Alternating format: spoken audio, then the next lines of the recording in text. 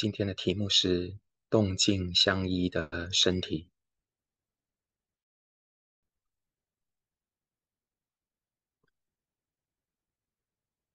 我们常常听到禅修的时候在修觉知，觉知。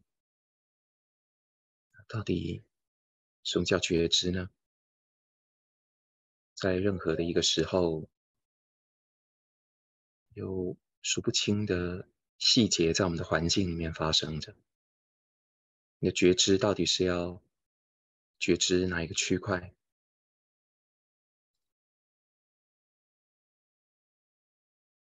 禅修里面所教的觉知，它是大小切中的，它既不是太狭小，也不是漫无边际的。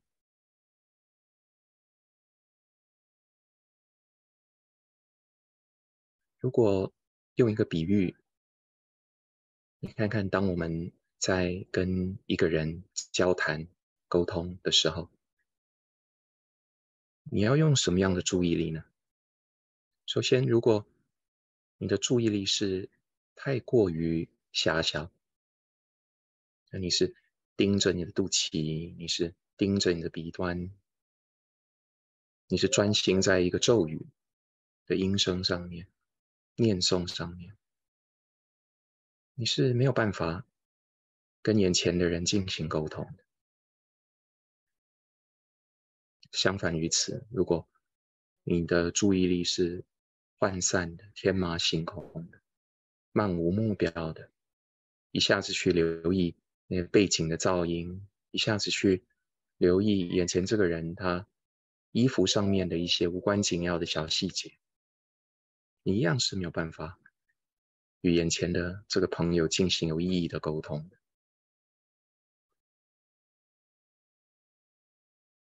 所以，你要进行的任何的一种行动，它所需要的觉知，它是一个有范畴的，它是一个有范围的。然后，这样的这个范围，这样的一个范畴，它是由当下运作的智慧在不断的评断着。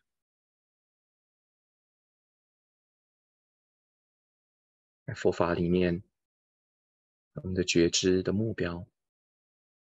举例来讲，你当前的动作，你的起心动念，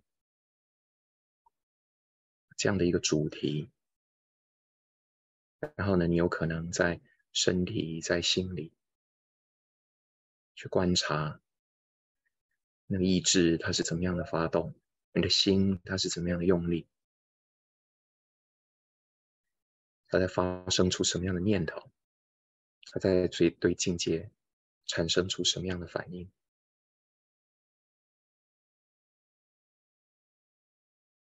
然后要观察这样的一个动作，你所需要的觉知，它的范围是适中的。当然，当我这样子解释，可能有的人还是觉得太抽象了，所以在传统的。佛教的禅修的训练里面，我们有这样的一个主题，叫做念住、身念住、受念住、心念住、法念住。这每一个念住，它就是提供给你一个有意义的探索跟关照的范围。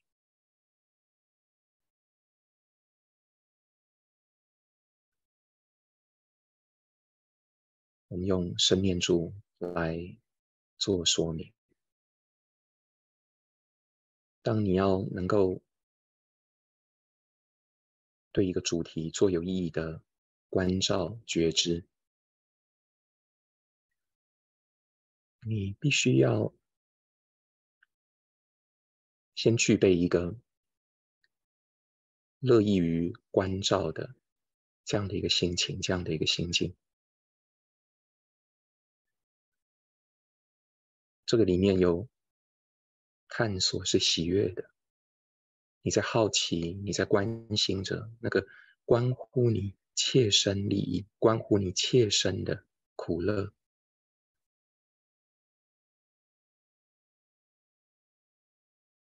在佛经里面，他提到，你修学禅那，你最主要的主题就是瓦萨格，就是放下。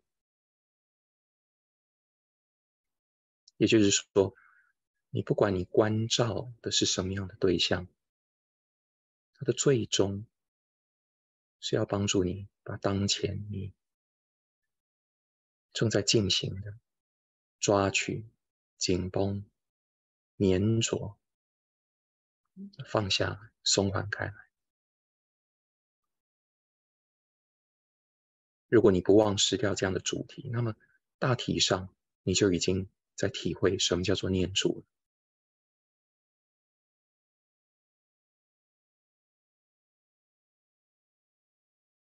你如果你把注意力先放到你的所谓的身体，你很有可能会发现到，尽管眼前你的眼睛是闭起来的，但是几乎你马上感觉。到有一个相对沉重的皮囊，你住在这个里面，很有可能在你脑海中，你已经勾勒出了那个身体的界限，你的身材它的曲线，你的长相，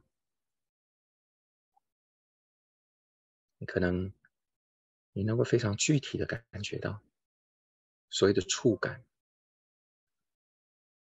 这个触感，它不是什么玄奇的东西，而是你当下你所感受到的冷暖，你所感到的酥麻，你所感到的摩擦，你所感到的压力，你所感到的重力，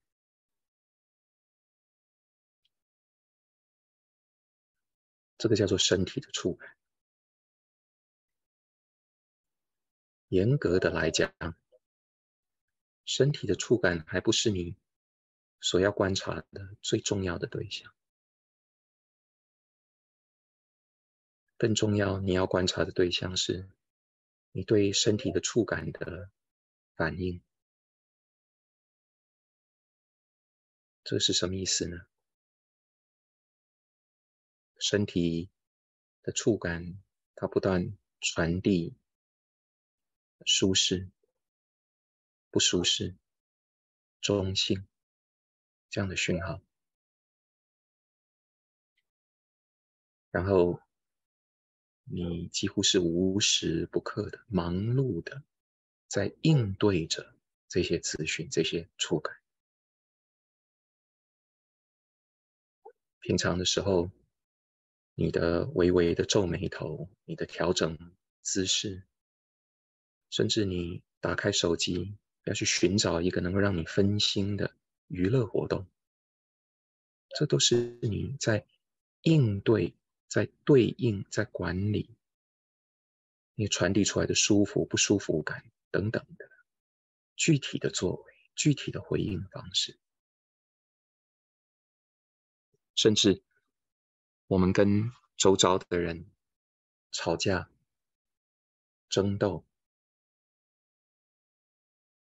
在一个根本的。程度上面也是我们在对于不舒适的触感一种习惯性的反应，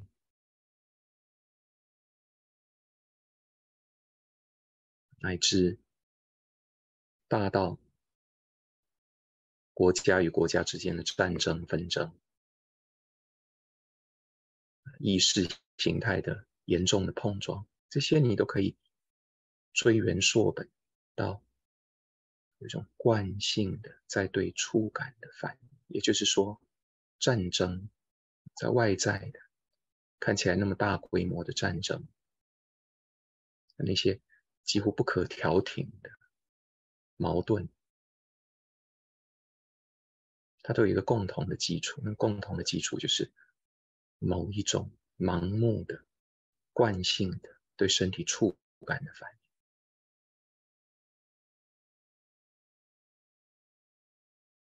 所以你可以从身体的触感的反应，你也看得出一个人他的烦恼的模式。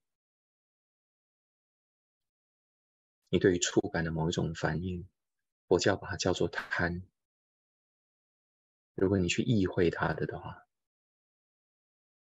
那是对于一种对于触感的呃黏、眷恋、舍不得、欢迎、盘踞，有某一种对于触感的反应的方法，佛教把它叫做嗔，嗔恚的嗔。你可以意会得到，它这个里面的滋味有排斥、摩擦、抵抗、回避、逃离，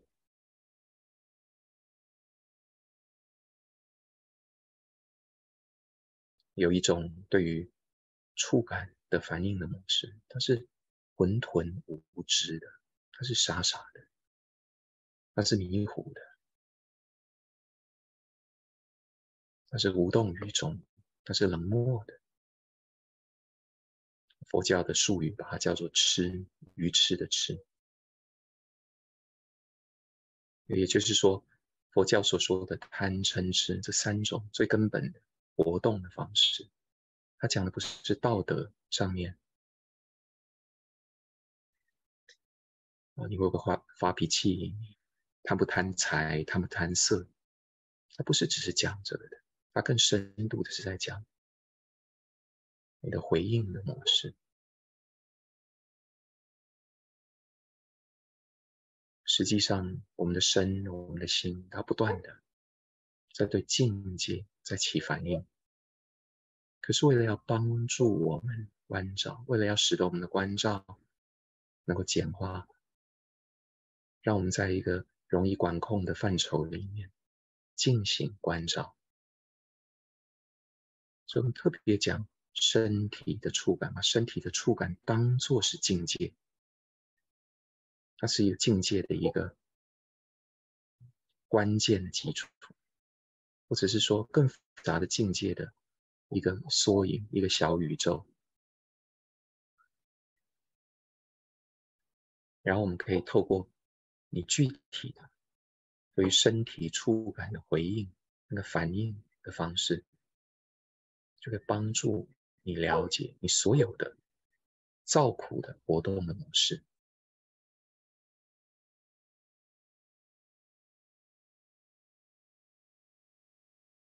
这个道理听起来相对简单，但是在实际的进行当中，你可能你会立刻发现到困难。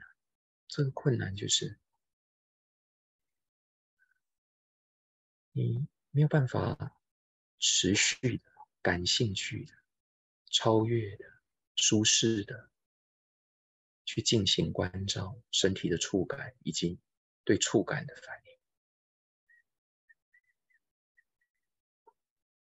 所以佛教里面有一个特殊的观念，它叫做“止”，停止的“止”，要奢摩它，要奢摩它。简单来讲，那个意思就是你能够在休息、安歇、省力。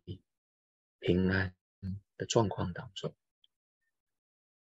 不被动作盲目的牵着跑，而是能够立足于中立，立足于相对的无作、相对的无为当中去看、去了解你的反应。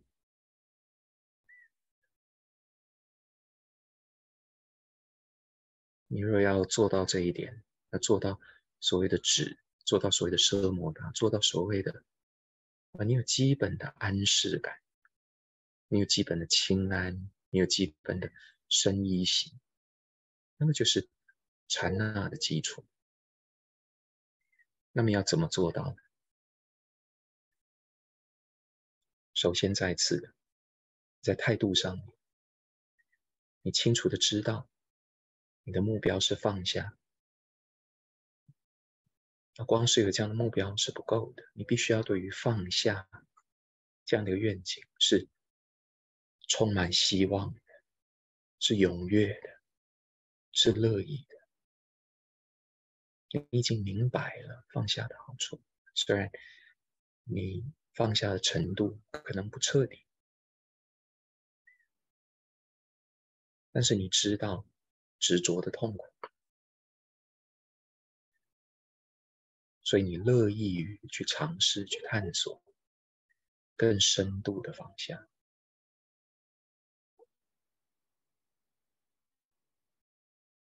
你对于不放下的状态，没有依恋，没有遐想。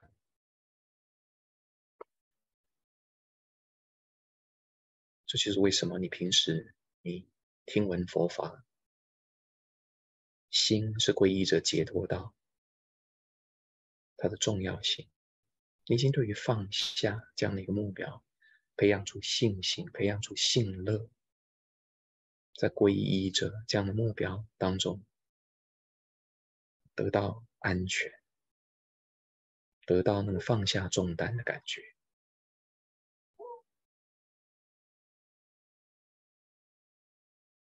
然后再来，在你的身体的部分，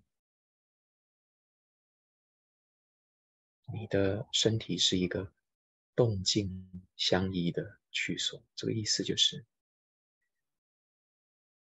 如果你强迫它不断的动，你若你强迫它不断的安静，这两种强迫都不能够造成清安，不能造成你身体的。轻松、舒适、宽坦。你必须要知道怎么样动与静的调和。我们从具体的一些技巧来说明。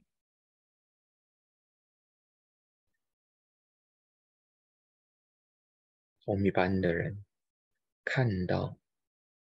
其他的同修好友，佛教的榜样，你看到他们纹风不动的坐在那个地方，然后你想要效仿，可是如果你的身心没有到了一个成熟的条件，你硬要把你自己静下来，尤其是做到那种纹风不动的状态，那实际上是一种打压。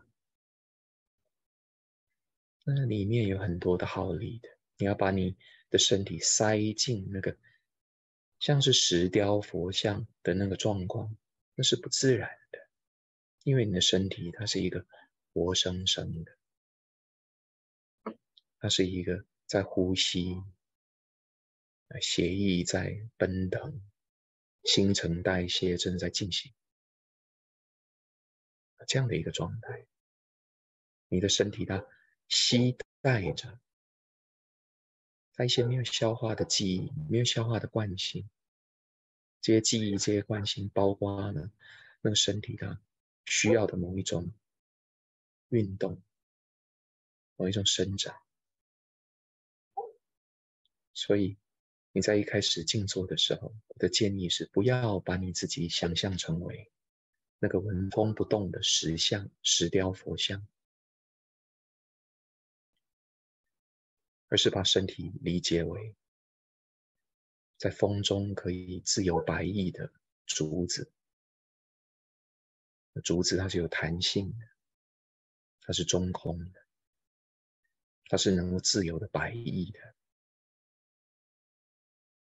所以你在一开始的时候，如果有需要，你看把你自己安静下，你觉得有不舒服的感觉，你可以刻意的在头部的地方微微的扭动着。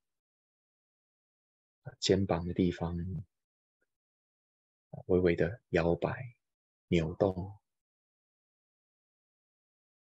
那你一边这样子微微的摇摆、微微的扭动，你一边清楚的知道动作，来感受到那个耗力气。你透过这样子。微微的摆动，或者说允许你的身体，它自然的那个呼吸的模式，它的那个扩张，它的收缩，那个浪潮它的来去，你不要你不要故意的压制它，然后这样的膨胀跟收缩的过程，你有可能要有一些跟你所熟悉的禅坐的姿势不太一样的那个姿势都没有关系。特别是如果你是一个人静坐，一个人在修学禅修，你不会有干扰到别人，不会在团体里面去干扰到你身边的人，你更可以做这样的实验。当你这样做实验的时候，你并不是在盲目的允许你的散乱的发生、你的躁动的发生，你是有意的。你在观察中，在体会着你这样的晃动、这样的扭摆，它产生出来的效应。然后你之所以要这样子做，它的原因是因为这有可能能够帮助你去发掘到藏在你身体里面的紧张的模式。你长时间的期待着那个紧张的模式，你已经不自知了。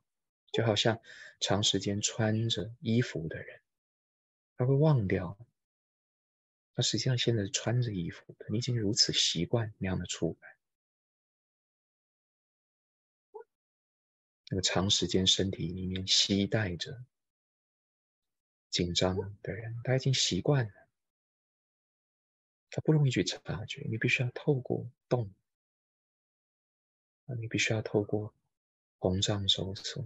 你必须要透过在那个区块有点刻意的去探索，才有可能会隐约的感觉到啊，原来这个是不需要的，原来我在这里有在抓着，原来在这里有神经质的表现，你可以以此类推去观察你的头部。啊，你的颈部，你的两肩，啊，你可以去留意一下，像是你的表情，它能不能舒缓，能不能松开那个没有必要的皱眉，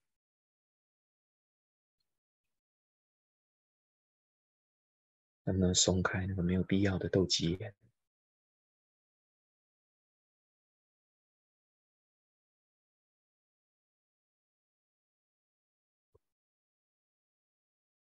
去寻找，去探索着，身体里面你有可能正在期待着紧张的模式。这个身体里面紧张的模式，它是你的妄念的根源。也就是说，你之所以会妄想纷飞，那是因为你身体在紧张，所以。你的心境，它对应的方法就是神经质的、不断的在投射出妄念。你可以把妄念理解为，它实际上就是一种对于身体触感的一个反应。我们对身体的触感有很多不同种的反应，其中的一种反应就是透过打妄想，就是透过。逃到白日梦里面去，就是透过那个神经质的不断的在心里面编织着各种的计划，来预防那个未来有可能发生的危险。实际上，那个未来的危险是不存在的，存在的是你当下的紧，你当下的不舒适感。但这个当下的不舒适感对他的回应。它呈现出来就是对于未来的恐惧，对于未来的不安。实际上没有未来的恐怖的地方，没有这一回事的。在你当下的现实里面，没有这一回事。那个纯粹是你的反应模式，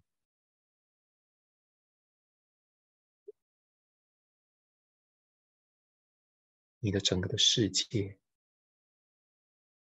就是由对触感发生反应而堆砌出来的。然后我们反应发射了之后，它有趣的是，它会制造出新的触感，也就是说，反应的本身，它会促生其他的触感。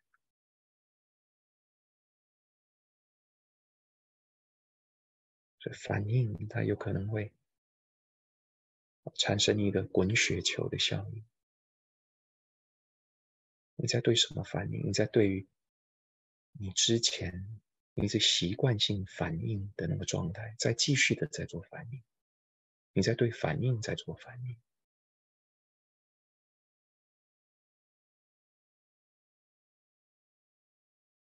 你只需要回到身体来。你就会看到所有的你对未来的不安，所有的你对于过去的追恋、舍不得、罪恶感，通通都是这样的一个基础。它是一个那么容易解开的结，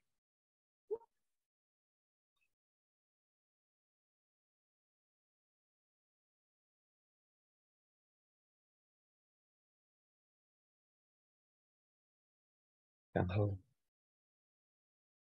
当你的身体能够趋向放松，我现在讲的不是说达到绝对的放松，你不需要追求绝对的放松。那追求绝对的放松的本身，那又是一种压力的来源。你光是能够趋向放松，你光是能够在当下是胜利，或者是在当下。能够发现到有紧张，然后卑微的小部分的、有耐心的、慢慢的、一点一点的缓解掉这个紧张，这个就是体会你身体内在的清安最好的方法。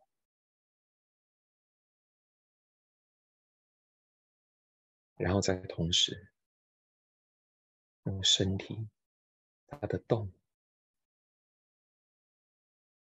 它的活动，最最起码，最起码，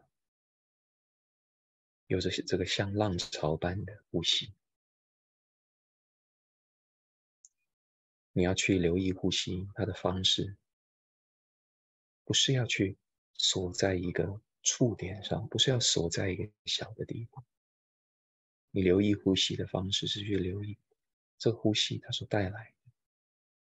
整体的效应，你甚至可以把呼吸理解为它是一个背景轻柔的美好的音乐。你是在身体的哪一个部分听到这个音乐？没有哪一个特定的具体的部位的。当美好的安抚的音乐它发生的时候，它所产生的是全体的效应，它是安抚你整个人的神经。呼吸也是如此，你不必要把呼吸局限在认为说它的效应只发生在哪个地方，是它能够对你的整个的神经系统都产生出安抚的效应。然后这种动作，它不只是安抚。它还是一种挑弄，舒适的挑弄，舒适的刺激。也就是说，当你人是放松的，那些若有若无的、那些依稀的触感，包括动作，这个浪潮它的来去。变成了一种舒畅的涟漪。你不必要把这个舒畅的涟漪太过的夸张，把它想象成一定要多么剧烈的舒适感，不是这个样子，而是当你放松的时候，这些简单的、轻柔的触感。你会发现呢，它就像是在调弄着你的神经。哎，所谓的调弄，它是用正面的、舒适的这个伴随着你当前的态度，放下，不执着。所以它产生出一个效应，就是所有那个调弄、所有的刺激，它所产生出来的舒适感，它所产生出来的微笑的涟漪，你不需要多花力气去反应。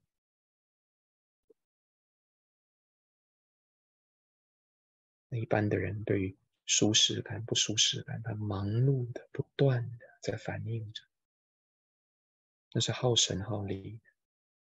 你在这边，你可以选择不断的放下。你不是压制自己不反应，是乐于休息，乐于胜利。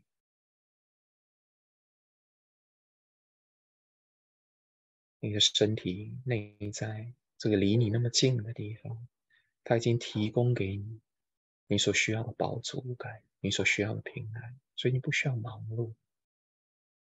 你不需要跑到远的地方，你不需要费心耗神去规划、去期盼。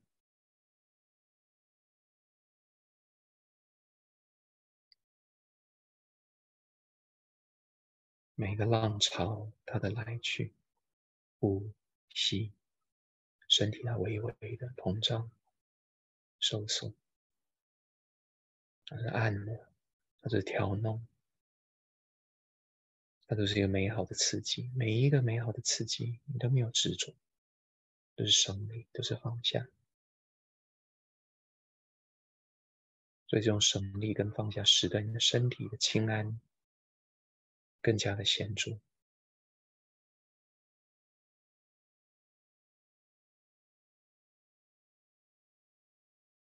你不要小看这样的训练，这样训练在帮助你理理理解。原来高级的满足，它是不需要耗力的，它不需要用钱买的，它不需要你去累积功德，变成一个好人，才能够获得这样的福报，获得这样的回馈，它是如此的简单，它来自于你那个容易知足的心，那个。乐意于放下的心，它来自于你那个清醒在探索的觉知。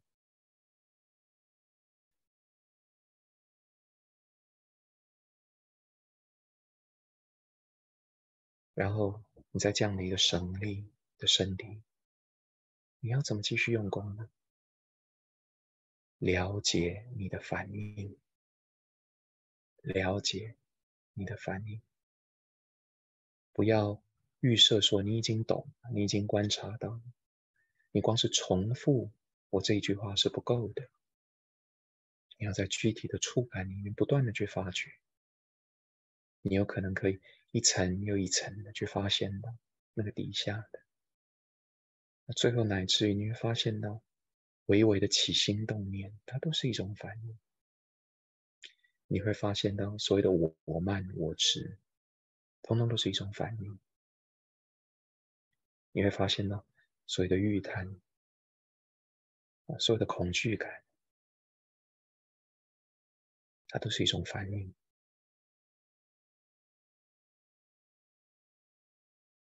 看看你能不能够，不是用强迫的方法来放下反应。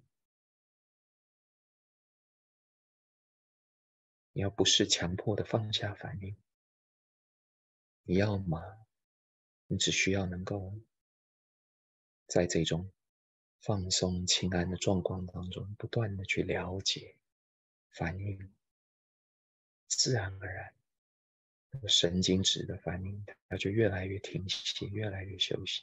这是一个方法。再不然，你随时随地，如果你要。你可以轻松的用微调的方式、微微的点拨的方式去介入，去刻意的去放下反应，去调整你的反应。这两者都是可以的，没有什么一定对的，一定不要的，不要紧张。这里面有很多的犯错空间，很很多的实验的空间。你不需要神经质的要紧抓着某一个老师，我这样做有没有对？你教我，你用他心中观我，看看我这样子做有没有对？如果你有这样的态度的话，不容易开发出内在的觉知的，去相信你的直觉，去培养你的信心。这个信心来自于你有很多的犯错空间。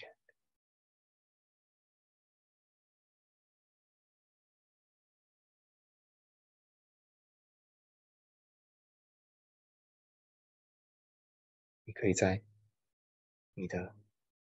反应当中，跟反应的瓦解当中，去了解整个世间它的极、它的灭。这就是为什么当佛陀的弟子跟佛陀讲要了解宇宙，那佛陀讲要了解宇宙，你是不是透过你去遨游到天际，像孙悟空翻筋斗云，要跑到那个宇宙的边缘？这样的去探索，而是在六丈之区，在一十六之区，就在这个身躯去了解世界，去了解宇宙。你的所有的恐惧，你的所有的盼望，它的依据都在这个地方。